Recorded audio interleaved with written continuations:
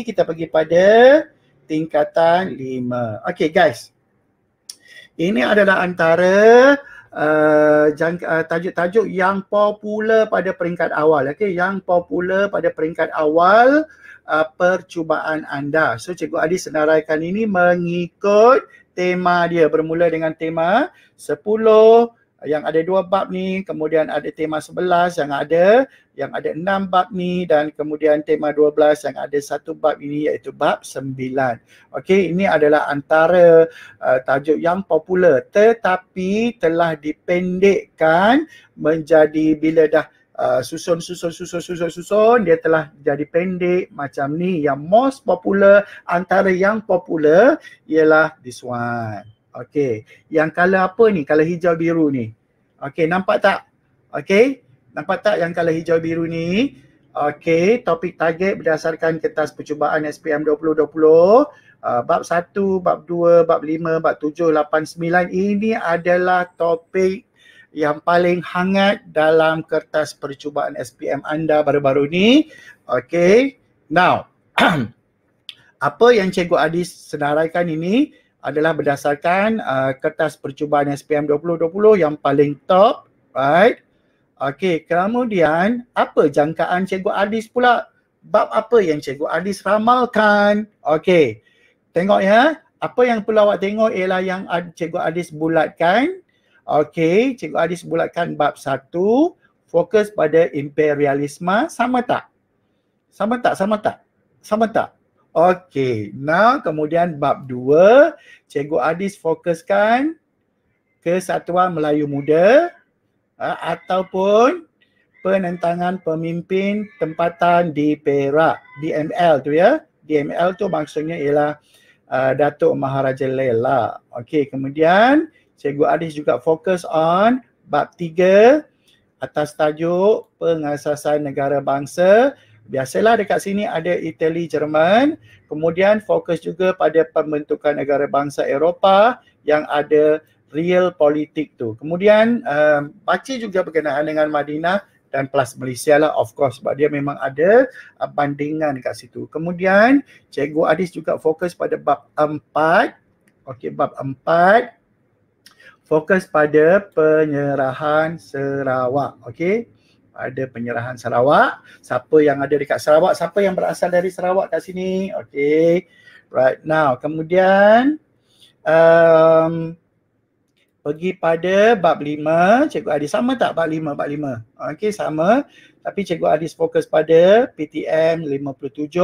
Kalau PTM 57 mesti ada juga Suruhanjaya Read. Okay, sebab dua-dua ni tak boleh dipisahkan. Okay, so kemudian fokus juga pada bab 8. Cikgu Adis fokus pada bab 8 terutamanya tajuk negara maju atau wawasan 2020. Cikgu Adis masukkan juga wawasan 2020. Kalau kenapa Cikgu Adis masukkan juga sebab wawasan 2020 penting pada tahun 2020.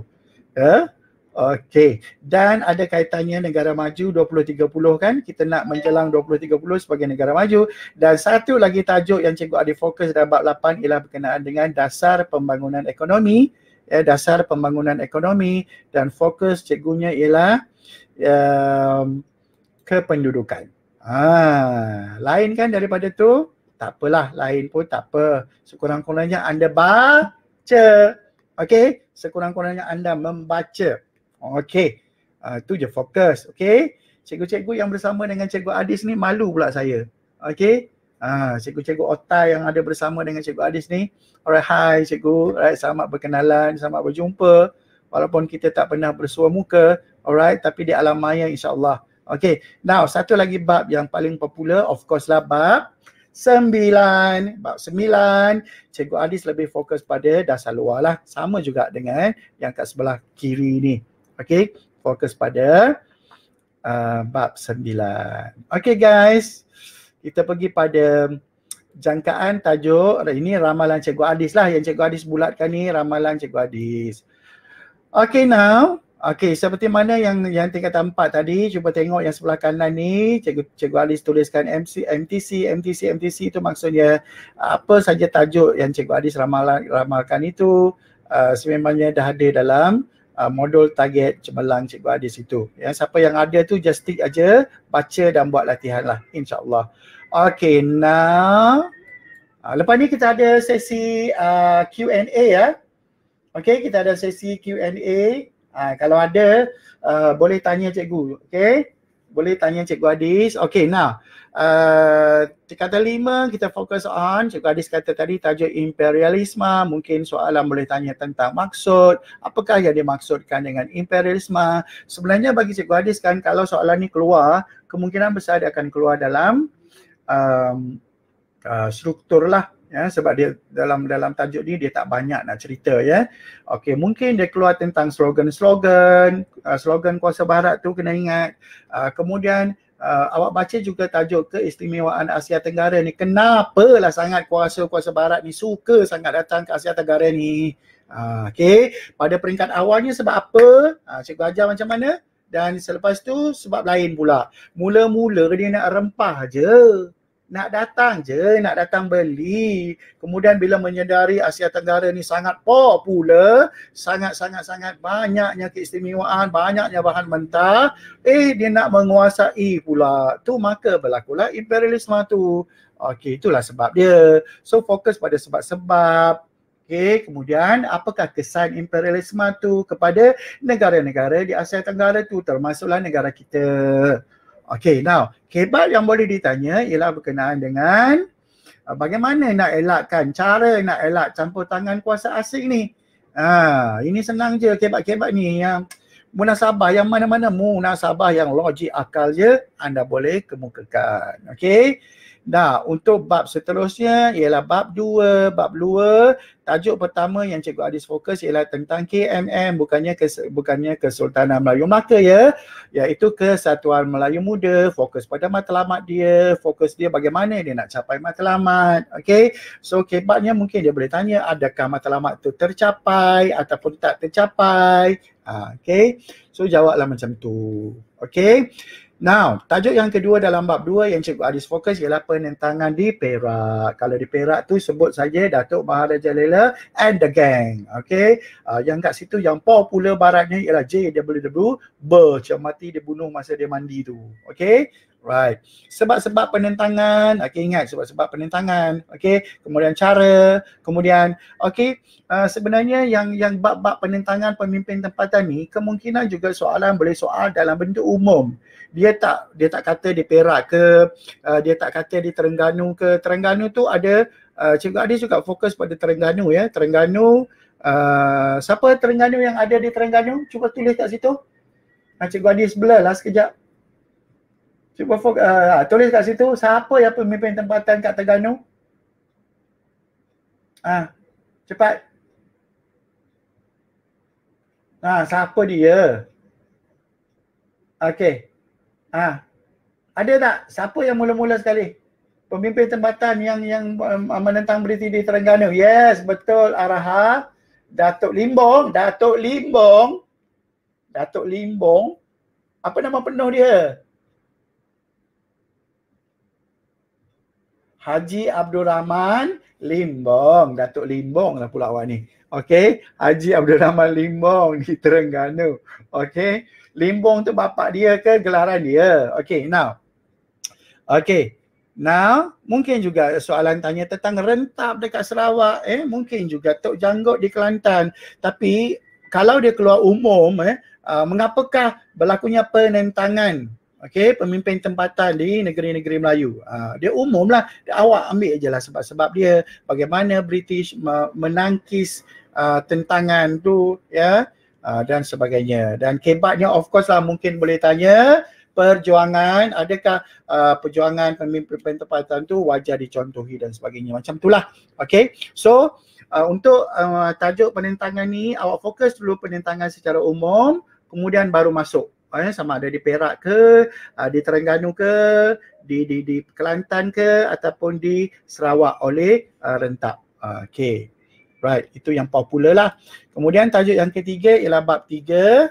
Bab tiga tingkatan lima, Cikgu Adis lebih fokus pada yang pertama, kemungkinan soalan tanya secara umum berkenaan dengan pembentukan negara bangsa di Eropah. Uh, ni mestilah okey di Eropah macam mana dibentuk dan bagaimana uh, kerajaan Islam Madinah dibentuk okey Kemudian yang Cikgu Adis fokus dan tajuk yang paling popular juga ialah berkenaan dengan tajuk yang kedua ni uh, tengok real politik. Mungkin soalan tanya tentang apakah yang dimaksudkan dengan politik ya. Kemudian bagaimanakah negara bangsa Itali, negara bangsa Jerman itu di di di, di dibentuk ya.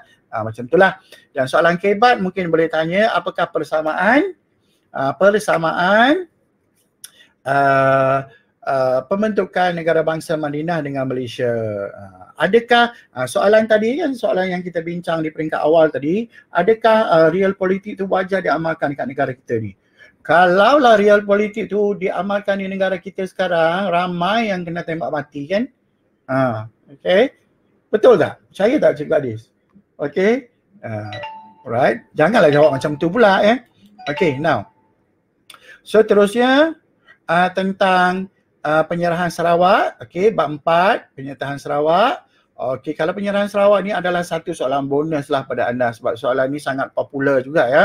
Uh, penyerahan Sarawak ni, okey, mestilah berkenaan dengan alasan mengapa Sarawak tu nak diserahkan kepada British. Kemudian adakah penyerahan itu diterima bulat-bulat aja oleh penduduk tempatan ada atau adakah perlu ada bantahan. So kalau ada bantahan, apakah cara, bagaimana cara orang uh, apa masyarakat uh, Sarawak tu menentang? Okey, ingat tak Rosli Dobi pada waktu tu? Okey? Alright. Kemudian kebatnya mungkin boleh tanya wajar tak tindakan uh, Rusli Dobi membunuh Duncan Stewart tu ataupun anda sebagai seorang yang hidup pada waktu tu apa tindakan anda untuk menentang penyerahan tu? Uh, okay, soalan macam tu je. Simple-simple. Okay, now kemudian kemudian bab lima, Cikgu Adis fokus pada PTM 1957, fokus pada isu dia yang di, uh, yang dijadikan panduan oleh Suruhanjaya Reid, fokus juga uh, Suruhanjaya Reid. Okay, kemudian fokus pada kandungan PTM 1957. Uh, okay, kandungannya ingat ya. Kemudian kebatnya mungkin boleh tanya kepentingan PTM 57 kepada negara dan masyarakat. Okay, macam itulah. Okay, bagaimana uh, kita sebagai warga negara Malaysia, okey, warga negara menerima PTM 1957 tu uh, dengan hati yang terbuka. Okey, kemudian uh, bab 8 Cikgu Adis fokus pada dasar pembangunan ekonomi dari segi kependudukan, matlamat ataupun usaha-usaha yang dilakukan untuk menambah penduduk. Ha, ni soalan uh, soalan sangat cantik ni kan. Kalau keluar macam ni awak tahu tak bagaimana nak tambah penduduk? Eh, kependudukan negara kita ni uh, uh, negara kita sekarang ni berapa penduduk? Sebab matlamat ya nak capainya nak capainya ialah uh, uh, apa 70 juta dalam wawasan 2020 kan ya. Kita masih lagi kita baru 35 juta kan. Uh, nak sampai 70 juta dalam tahun 2100 tu okey.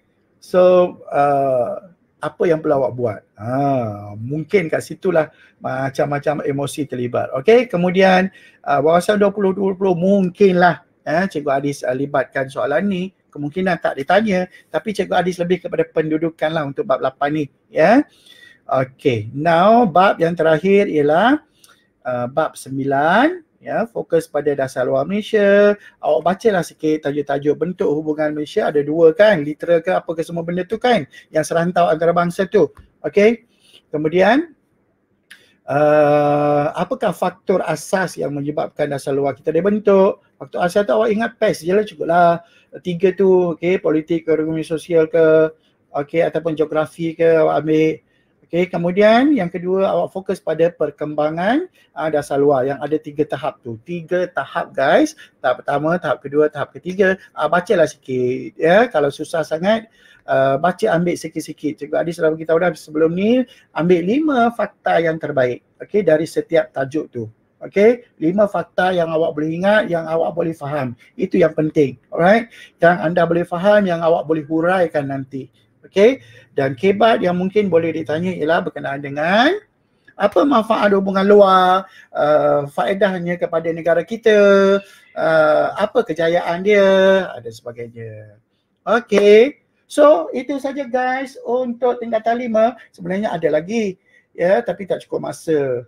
Okay, ini adalah antara contoh-contoh lah yang Cikgu Adis uh, soalan-soalan berkenaan dengan sebab ataupun faktor-faktor kuasa barat datang ke Asia Tenggara. Okey, uh, ni Cikgu Adis uh, slidekan saja. Okey, uh, supaya anda boleh tengok. Oh, ni kesan berlakunya imperialisme barat.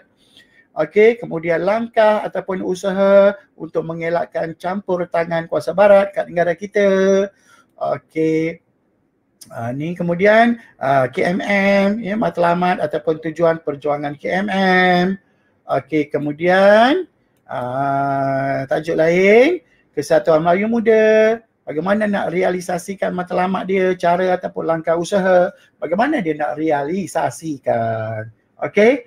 Nah, kemudian kita pergi pada kebat dia ya uh, adakah KMM tu berjaya mencapai matlamat dia? Uh, kalau dalam buku teks tu tak berjaya lah. Jangan awak kata berjaya pula. Ha? Kalau berjaya tu susahlah awak nak cari apa bendanya. Dia punya alasan reason tu. Ya. Yeah? Uh, dalam buku teks tu kata tak berjaya, awak tiba-tiba kata berjaya. Eh? Uh, susahlah. Okay. Now. Kemudian penentangan di Perak. Ini secara umum lah sebab-sebab penentangan Cikgu Ali kata fokus pada yang kala merah ni. Sebab-sebab berlaku penentangan guys. Okey, penentangan kemudian pergi pada langkah usaha, langkah-langkah bagaimana langkah penentangan dia. Okey, ada peris langkah tu maksudnya peristiwa lah, peristiwa penentangan. Okey. Kemudian fokus pada uh, ni uh, jawapan uh, esei lah yang ada Okey, kemudian uh, kebatnya of course lah bagaimana perlu tak kita contohi sebab kita uh, sebab kita perlu mencontohi semangat um, patriotisme yang ada dalam kalangan pemimpin tempatan ni. Uh, Okey, awak jawablah soalan-soalan dia dengan bagus. Okey. Okey.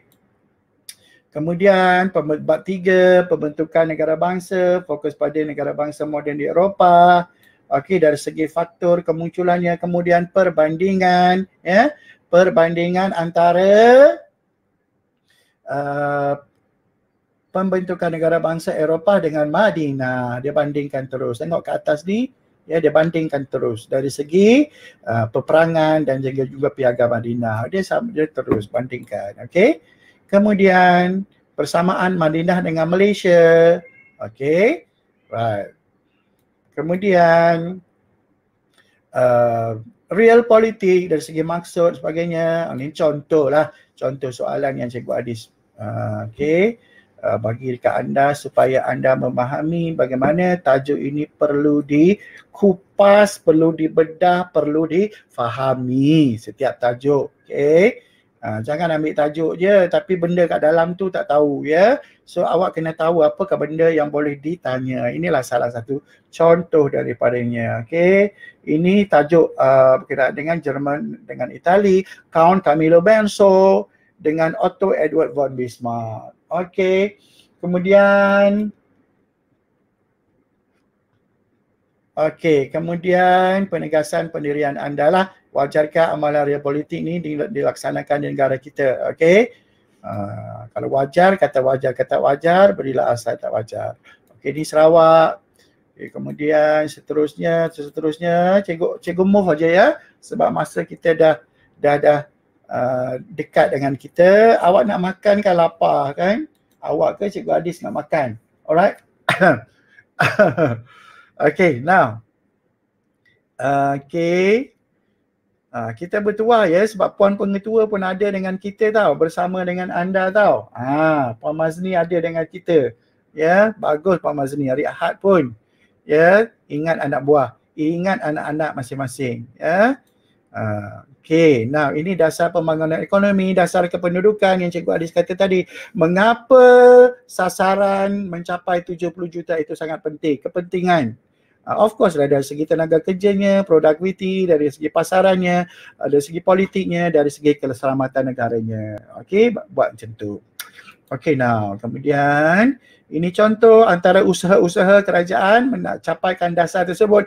Janganlah awak kata pula nak capai usaha uh, kependudukan tu um, uh, yang lelaki mesti kahwin empat. Yang perempuan pula mesti mesti beranak uh, satu dekat ujung sor- uh, ujung tahun seorang ke awal tahun seorang. Matilah macam tu.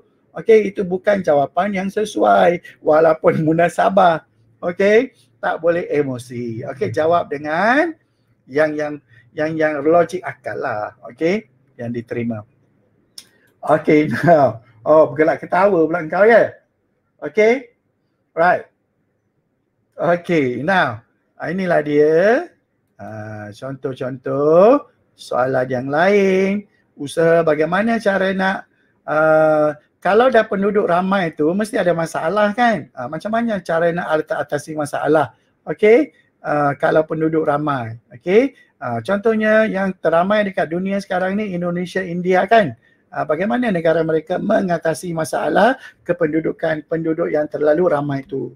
Okey, macam kita ni 35 juta pun ramai yang ada masalah apatah lagi nak 70 juta. Okey, uh, kita ni senang aja yang masalah tu campak je ke laut kan? habis cerita. Ha, ingat senang. Okay, nak campur ke laut orang. Eh? Alright, now. Kemudian seterusnya kita pergi pada uh, inilah dia contoh uh, nak jawab esei lengkap. Okay. Now, uh, ni wawasan 2020. Okay, bacalah juga. Manalah tahu kan. Okay. Uh, sebabnya, sebabnya ialah uh, yang terakhir tu uh, wawasan 2020 kan tahun lepas. Okay. Soalan kan dah siap tahun lepas. Who knows kan? Okay. Right. Macam mana tanggungjawab anda untuk merealisasikan wawasan 20 uh, mencapai negara maju? Uh, ni cara menjawab dia lah. Bagaimana nak capai negara maju menjelang 2030? Ah, okay, tanggungjawab anda ialah mesti belajar bersungguh-sungguh. Okay. Ah, eh, tak selepas ni tahun 2030 tu cikgu dah tak ada lagi. Okay? Ha. Uh, tapi 20 uh, 20 27 cikgu pencen. Ah uh, okey. Tu umur cikgu pencen tu 60 ya. Yeah? 20 27. Okey, now. Ini cara menjawab dia lah.